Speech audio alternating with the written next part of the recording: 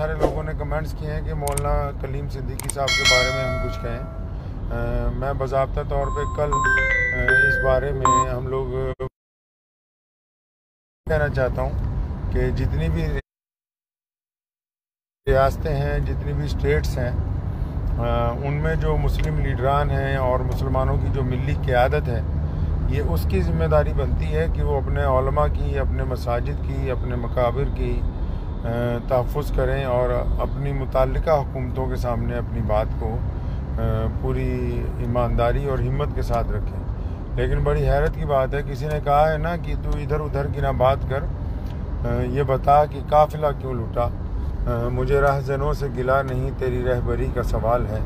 تو وہ لوگ جن کو اتر پردیش میں قائد بنایا گیا مسلمانوں کا، اگر وہ صرف پریس نوٹ جاری کر کے یہ سمجھتے ہیں کہ ان کا حق ادا ہو گیا تو یہ میں سمجھتا ہوں کہ بہت بڑا دھوکہ ہے۔ مولانا سیاسی سازش کے شکار ہوئے ہیں اور سیاسی جو معاملات ہوتے ہیں، ان کا جواب بھی سیاسی طریقے سے ہی دیا جاتا ہے۔ تو چاہیے کہ جو ہمارے سیاسی قائدین ہیں، وہ مولانا کے بے قصور ہونے کو بڑے مثبت قدم میں حکومت کے سامنے رکھیں۔ وزیر اعلیٰ اتر پردیش سے ملاقات کریں۔ اور اگر ضرورت پڑے تو بھارت کے وزیر اعظم جناب نریندر بھائی مودی جی سے ملاقات کریں۔ اور ان کو یہ بتائیں کہ مولانا کلیم صدیقی صاحب جو ہیں، ان کے اوپر جو الزامات لگائے گئے ہیں، وہ بے بنیاد ہیں۔ اس لیے اگر یہ لوگ صرف یہ کہتے رہیں کہ جی ہم نے وکیل کروا کے دے دیا ہے، تو اس سے مسئلہ حل ہونے والا نہیں ہے۔ اور یا یہ کہتے ہیں کہ جی ہم نے پریس نوٹ جاری کر دیا، اس سے بھی معاملہ حل ہونے والا نہیں ہے۔ حقیقت سے نظریں جو ہیں، وہ نہ نہ چھپائیں۔